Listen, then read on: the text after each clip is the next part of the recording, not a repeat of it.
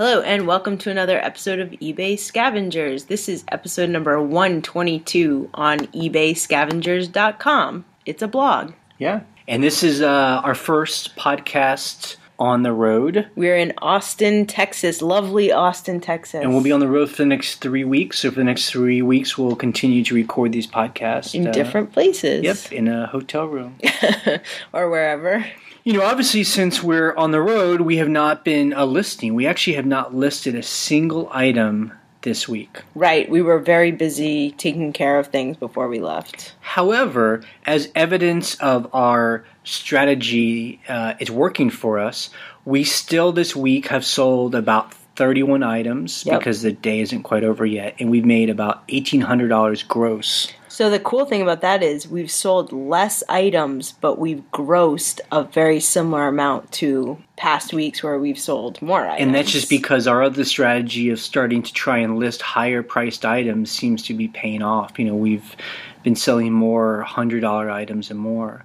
Although, like in the um comments on the blog we've been having lately uh, over at ebayscavengers.com, I would love to only sell $100 items. Yeah. But, you know, when the way we scavenge, if you're scavenging and only wanting to pay between one and five dollars for things, I mean, Yeah. those kind of items aren't out there as easily. So, We do find them, but like you say, not as frequently as something that sells for thirty to fifty. The bread and butter is always paying a dollar or two for an item and selling it for thirty or forty to forty to fifty. Yeah, exactly. That's That's the majority of what we sell Yep. and can sell successfully. it's so. not flashy, it's not glamorous, it's just, you know, a good value for everybody, you know. But we do like to tell you about the fun big sales we have because Yeah. that's fun.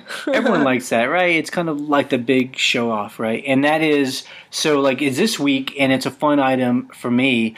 We had talked about going to a Brooklyn auction uh is last year. Yeah. And uh, you know, a really kind of kooky crazy auction with a lot of characters, a It lot was of so fun. it was fun and uh, I bought a zombie girl painting for ten dollars. Now, when we say zombie girl painting, you know, now because there's all this zombie shows and movies and whatever, it looks like that. But someone drew it in a just a funky kind of outsider art style. I would say back in the late 60s, early 70s. and it even has like a a rip in it, like someone kicked it or something. You know? Yeah. Uh, but it's so cool, and it's just one of those examples of you kind of got to go with your gut. And I just really fell in love into a thing. I probably even overpaid for it at the auction, I but think we paid $12 for it, which, yeah. I mean, you can laugh at that, but that's high for us. And we sold it for one 150 we sold it for 150 i had it up for 300 because i was like this thing's so awesome. Yeah. I, I love it so much and i want a good um, price for it. And the lady her first offer i think was like 50 or 60 dollars for it. And you had actually a funny conversation with her because in her offer she was like this thing's ripped. It's an unknown artist. I'm not paying more than 50 I don't- It, I don't think she had that tone of voice. that was the tone i read. When I read it, she didn't have that tone of voice. She was just telling me, "Well, I'll give you fifty dollars because it's unsigned. It's just you know a random piece of Unknown, art." yeah. But I answered her with a counter offer and just said, "This is an original piece of art. You'll never find anything, Anything like uh, like this. And people pay over fifty dollars for a cheap print at IKEA, so." You know, it's worth more because no one will ever have something like this on their wall. And she must have agreed because she bought it and was She bought it go. for our counter offer. We counter offered at 150. Yeah. And she said yes. Well, and the other thing too was you said, you know, I'm going to be patient and wait for someone who really appreciates this. Yeah. Because that's that's the truth. I was willing to hold on to it. And you know, and that's the other strategy we always talk about is I mean, how do you price something like this? It's just Yeah. like a weird piece of art. Like it's unsigned. I mean, where do you start? Well, we just went with our gut. We put Yeah. three hundred dollars on it, but we put make offer. So again, that allowed us to have a conversation with Right. this buyer, and we were able to convince her that it was a good deal. And she So- agreed, so that was that was a fun sale. So if you go to our blog, we'll put a picture of it, and Yeah. you, and you can see if uh, you if would. you think it's cool or not, I, I would, did. I would have put this on our wall, but I guess that's one reason why we don't have a lot of stuff in our house, is because we like to sell anything. So we're Yeah. we're, we're happy to uh, get it out of the house. Last week we had talked about how we sold some bird's nest. No, it was the week before, and um, uh, several people kind of mentioned like that's weird that you sold those because I don't think selling you know migratory bird bird's nests is actually legal to do on eBay. And we didn't even know what kind of birds' nests they were, and Yeah. people. It was kind of cool. That's why we like the internet. People told us what kind of birds they were. We uh, researched them, and that was true. It was those birds. and yeah. we and eBay actually then sent us one of those uh, warnings, the like, policy warnings. yeah, a violation, and Now, it, it what's weird about it is I had already sold the item and they removed it and gave me a policy, you know, notice. So I didn't even think that was possible. But so there's no evidence of the. I think there's a reason why they take it off after it's sold, so nobody can see completed listings. Hmm. it's So It's always strange to me. So they don't want you to sell birds' nests. I wonder why they even allowed you to list it in the first place. list it. Well, I think it's because there's no category for bird's nest. I put it under crafting. Hmm. And I think it's just a, a, a keyword flag. Yeah. Or someone flagged it. And you know, for anyone that's new, I mean, this is. I think when you're uh, selling anything and everything like uh, we do as scavengers, I mean, it happens every now and again. I had bought some uh, military Yeah. uh, supplies like a gas mask and some goggles, and we got some policy violations because sometimes you can't sell some of that stuff overseas. I mean, so Yeah. it happens. eBay just tells you you can't do this, and they send you a link to a page that explains it.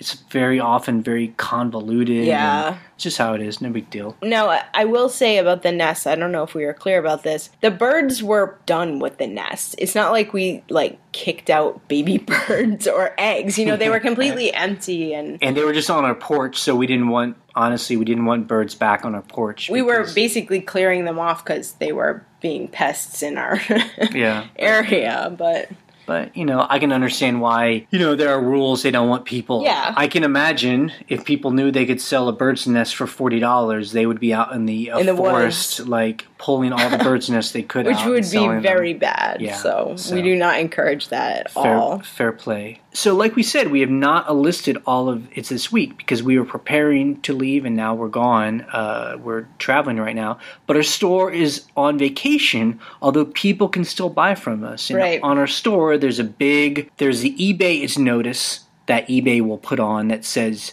You know, this buyer is gone. You can still buy, and they will ship on this day. We also, on our header, put that its message as well in big Yeah, writing. it's on the store Right. page. It's in. I honestly wish that eBay allowed me to put that on the individual listing page too, but I think they want to encourage people to buy.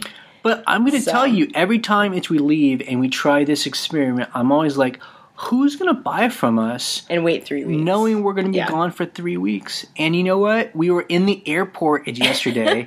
the three week had started, and we sold probably more yesterday than we had the whole week. We had a $500 day yesterday. And like we always say, we send them an eBay message straight through eBay and I email them. And I started when they paid me, I email them at that email address too because I'm paranoid. And no one had a problem. And either people just don't write back, so we Yeah. just assume they don't care, or we've even had people yesterday email us and they were like, no problem. Just mail it when you get back. Have a good trip. Yeah, which I love, especially because the two big sales we had yesterday were these two different objects that we've been storing in our house because we just had them on the mantle and they both sold. A eh, pair of bookends and these like two big like incense burners. These like br- brass, like I think they're like three feet tall candle holders for like a church. They're massive. And we've had them, I swear I've had them up for three years. I both those items I looked at when we were cleaning our house and I was like, are these ever gonna sell? and you know, one reason is again is because we bought them the the incense candle holders for five Five bucks. which is amazing, and the other ones probably for not. It's much more than that. Yeah. And they're really cool. They're hard to price, and we just threw a big number on them. It was like three hundred dollars each. Well, I had on those column candle holders. I originally had a ridiculous. I think I had five hundred dollars, and, and I will say it's because I saw another exact similar pair sell for that much. So I was like, "Yeah, I'm gonna sell them for that much." Well i didn't. I i um, brought the price down um, a couple weeks ago to 250 mm-hmm. and they sold for 250 they had 250 make an offer. So i was thrilled. So i guess that's you know always something to throw in there when we're talking about this uh, about do is it worth it to hold items? I mean so we yeah. paid five dollars for these candle holders. We hold we held them probably for about a year and a half. Yeah. And so and but then they sold for 250. 250. So I mean to me that's worth waiting. So wait 18 right. months to make that much profit versus I'm sure if we had put, you know, fifty dollars on it, we could have sold it. It's within right. two or uh, three months. But to me, that's more evidence that it's okay to hold on to things because we're listing so much other stuff. Something's going to sell. Sometimes I get discouraged because I'm like, I I want this thing out of my house, but that that that was awesome. Both those things sold. Yeah.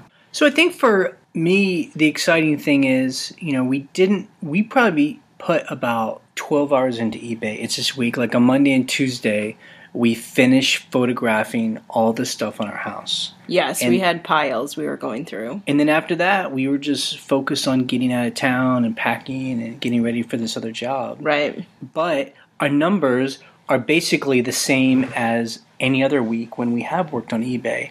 And that's really yeah. where when eBay becomes when eBay became our full time job for the most part, it was important that there was some level of stability. Right, and so front, like we always say, front loading the work contributes to that. So, so this week we we've had several questions. There have been several people. I don't know if it's just a um, something that's happening to several people where they're saying you know they're having a hard time finding items that they would be able to sell on ebay for good prices. And you know i think what people are bringing up is we always stress buying things for a dollar or two.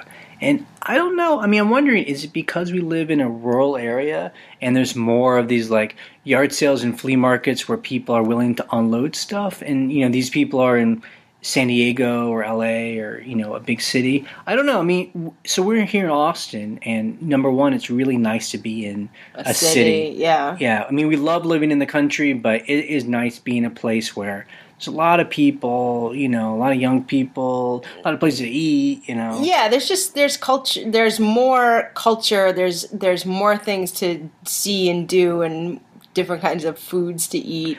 so, you know, I was thinking, okay, so what if we lived in a city like Austin? Right. And number one, I know there are people on the blog that are from Austin, so I'd love to hear it's what they say. Like, number one, I would hit Craigslist. Like, Craigslist. I, I yeah. would be having the a free uh, page on Craigslist where Open people all the time. Yeah, where yeah. people are like, I'm giving away these things. I'm like, I'll be right there. You know. Yeah.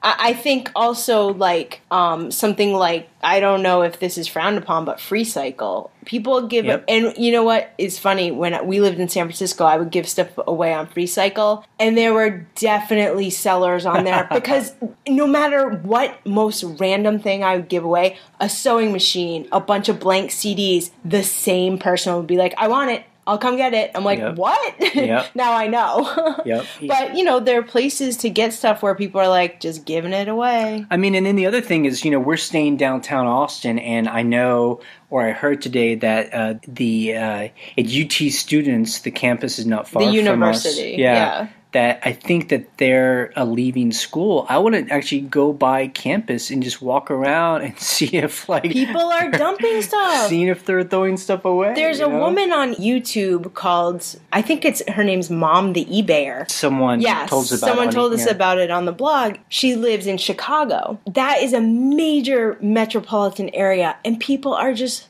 throwing amazing stuff away in the garbage for free. It seems like the one video we saw, it must have been behind an apartment building. Yeah. So I guess people are moving out and they're throwing away. I remember she like picked up a MacBook. I a MacBook and an iPhone. Like even a broken MacBook and a broken iPhone will get you money. So I, I mean, I think that that's why we call this show Scavengers because it really has to be a sense of you're looking for things in the not the obvious places you know Right. if you're you know when we first started we were kind of sticking to probably what everyone it's new does you know we're going to goodwill and Right. very quickly you realize like that's the most obvious place to go Well, and the prices, as we see, have been getting higher and higher. Right. So it is not profitable for us to shop there. So, you know, again, if we lived in a city, our strategies would just be different from what we have now. And, you know,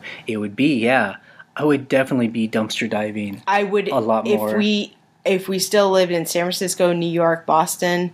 Yep. Oh, Trash uh, trash night would be big nights. When we go to New York, which we are going to in a couple weeks, we actually look on the New York City schedule by where we're staying and see when trash night is because they rotate it per block and per street. Yeah. So you're just like, all right, it's and trash you, night. And if you pick a nice neighborhood and It's trash night every you just night. take a nice night and I mean sorry, if you just take a nice walk and you, go just through the of trash. and you just kind of like and very often we don't have to actually dig into bags. People are just Yeah. lying stuff right there on the street. Yeah, because they want people to take it. Right, you know. In Boston, we would do that all the time. We put it out in a box right on our front stoop, right free on it, and it'd be gone the next day. I mean, people just take it. That's what Yeah. you want them to do. So And I don't know. I don't understand why people are having difficulty finding nice things at uh, at yard sales.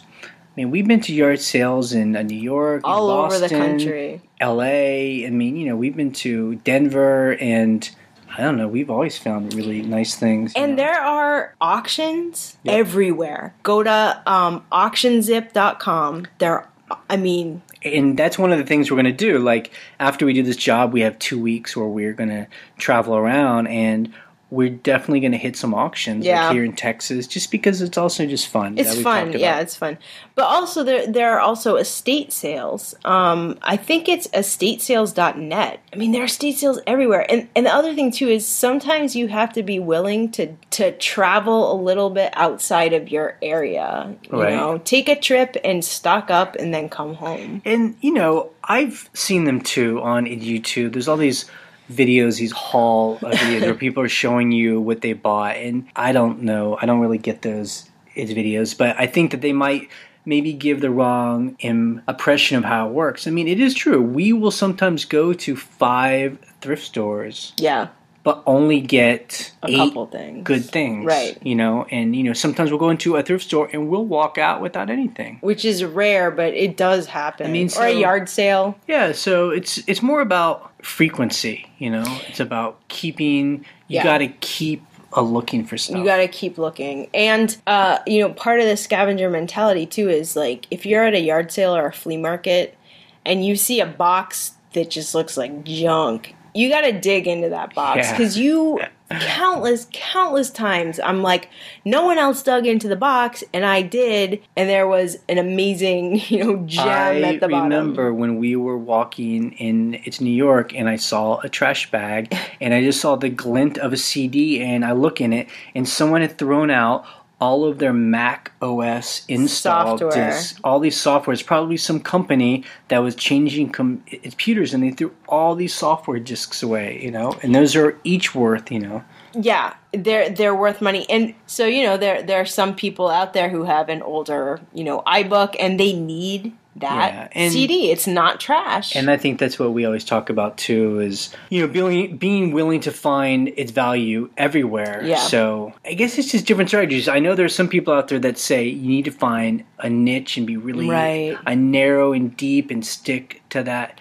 That doesn't work for doesn't us work for because if we were just trying to find one thing, I think it, it would take time to find enough of that one thing, you know. So we just like to look at things and trust our gut and do the uh, its research. And, and and and also part of it is I would get really bored if I only looked for one thing. And this actually comes into talking about buying sourcing on eBay for either people made spelling mistakes Yeah. or they're selling it on auction and it's selling for two dollars, whatever the reason is. Yeah, someone commented that they've been selling on eBay by by buying stuff on eBay. Right. So this guy sells, I think, uh, it's video games, and then he'll buy big uh, lots of uh, video Right. games, then break it up and resell it. But he said he was, I think, at best he would double his uh, money, and that seems to be what we've seen. We've tried some experiments trying to buy stuff on eBay, but really, by the time you you buy it and you pay the fees and you pay it to have it shipped and then you resell it and then those fees i just feel like i, I don't know maybe that was a thing in ebay a long time ago that people could make a lot of, of money that way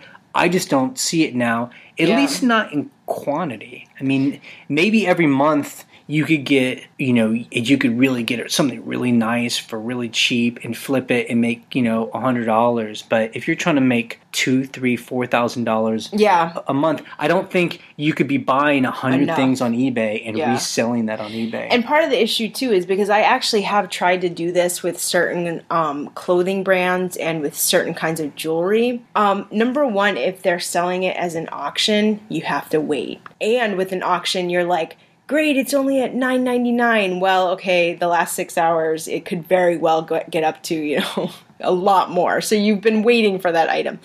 And with the buy it now, a lot of times it's just priced too high, you know, compared to uh, an estate sale or something. or you're kind of taking a chance on it because a lot of times the stuff that's really cheap the person thinks it's junk so they've only taken like one photo of it Yes. and really not described it and you're kind of just taking a, A chance on it Like So- I've tried to buy some um, Bakelite necklaces where the person's like, "It might be Bakelite," and I'm like, "Did you test it?" And they're like, "No." I'm like, "Okay, it could be Bakelite." and we've actually bought a couple things and it turned out not to be It was plastic, so you're And like, so "What do you know I do now?" they were cheap five bucks but Right. uh, it just i guess like we always say there's the one thing that we don't have enough of and that's time and so Yeah. you just have to figure out where to spend your time And so Exactly. i think part of this for us is just getting out into the world you know scavenging gives us a reason to get out there Right. to get off our butts to explore new parts of our town new parts of our county when we travel like to austin we're definitely going to get into different parts of the Yeah.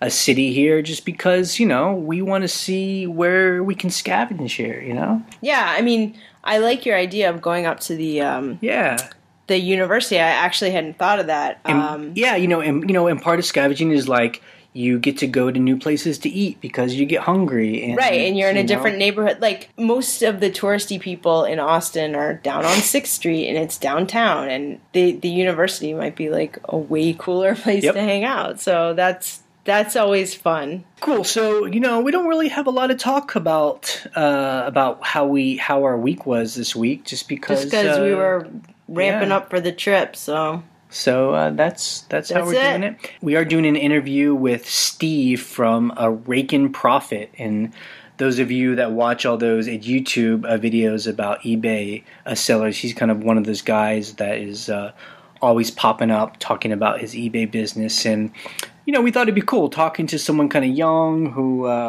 Is really like into selling clothes on eBay. yeah, so yeah. crazy. Well, I see the the reason I love talking to him too is like he just gets it. I mean, he he just like he's super dedicated to his you know business. And he he really loves talking about it on YouTube, so we can definitely relate to that. You I really love his like East Coast accent too. He's Yeah, he super- does. Yeah, yep. So he's up on in Connecticut. So So anyway, that interview will be coming up next. so check it out. See ya. Bye.